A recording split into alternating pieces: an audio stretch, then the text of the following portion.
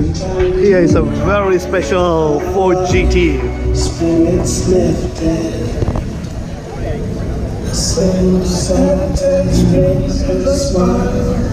I wish it was open, but it's not open.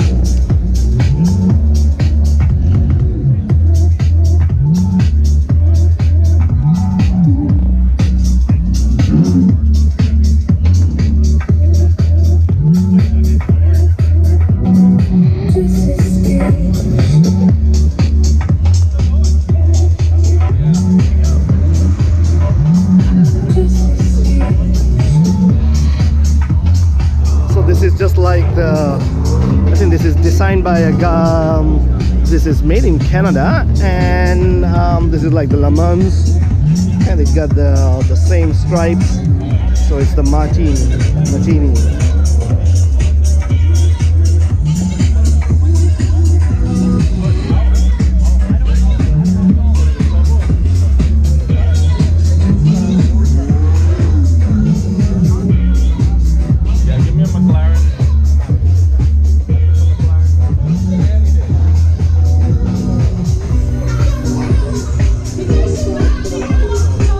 Unfortunately, it is right next to uh, uh, a, a, a mule, the PA system, so it's very loud.